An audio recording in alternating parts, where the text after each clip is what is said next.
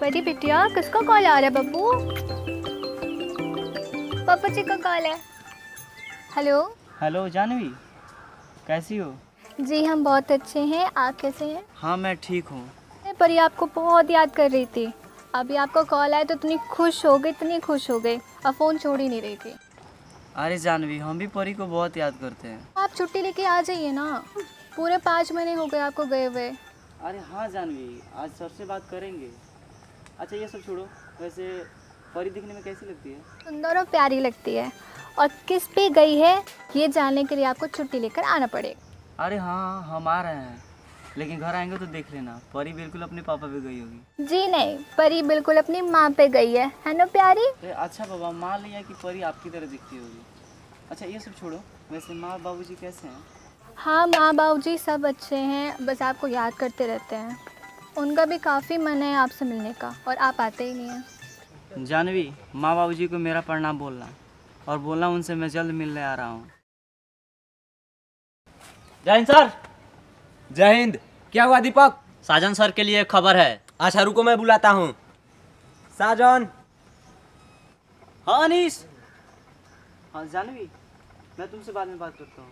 ठीक है कोई बात नहीं बाय पर अपना ध्यान रखना ठीक है? हाँ ठीक है बाय चलो बाय अब परी अब चलो तुमको सुलाते हमको और भी काम करना है।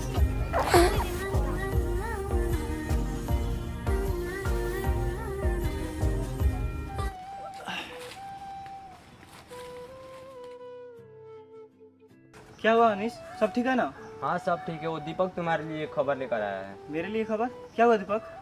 सर आपके छुट्टी पंद्रह दिनों के लिए मंजूर किया गया है। या भाई अब तो भाभी से मिलने का टाइम भी आ गया। सर एक और खबर है। क्या खबर है बताओ?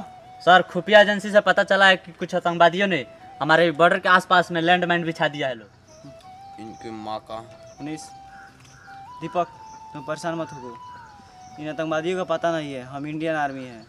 लैंडमाइन से डरने वाले नहीं हैं। तुम कैंप का ध्यान रखो जरा देखे तो। चलो अनीस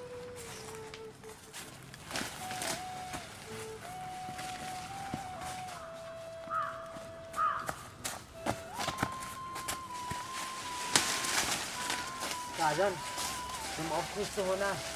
इसलिए जो तुम्हारे घर जाने की तमन्ना पूरी हो गई। हाँ यार खुश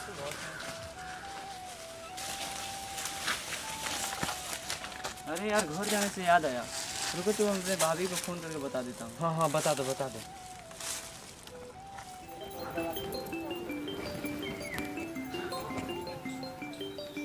अरे परी के पापा का कॉल।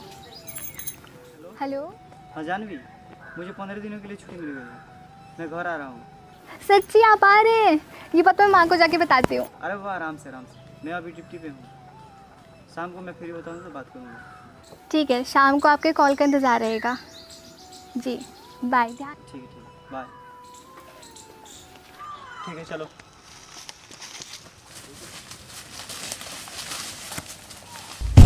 ये आवाज़ सुनी तुमने? अरे हाँ भाई उठ जाओ।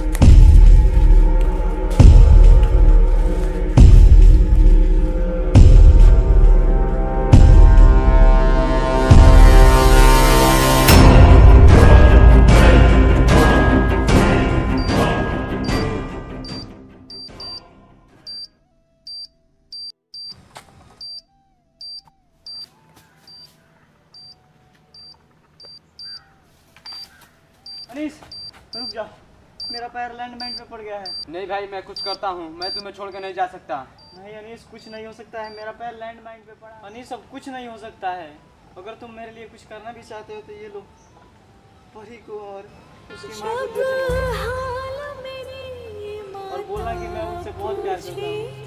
तो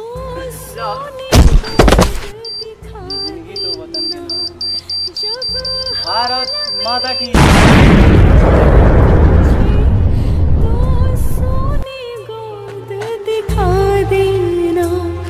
जब हाल मेरी बहना पूछे रक्षा बंधन लौटा देना सैनिक घर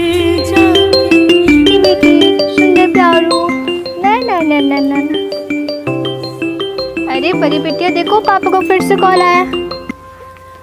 हेलो?